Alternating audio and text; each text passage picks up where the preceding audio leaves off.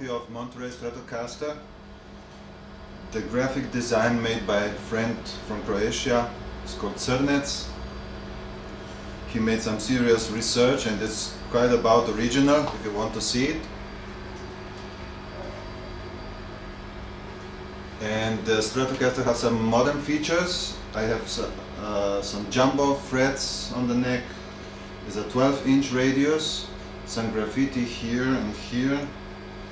It's a steel block tremolo, uh, Suhr Michael Landau pickup. This is a Seymour Duncan Antiquity.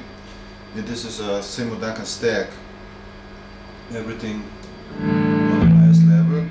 The body is supposed to be a JV Japan Strat. The neck is Allparts. And we can see the sounds if I play some clean. Thank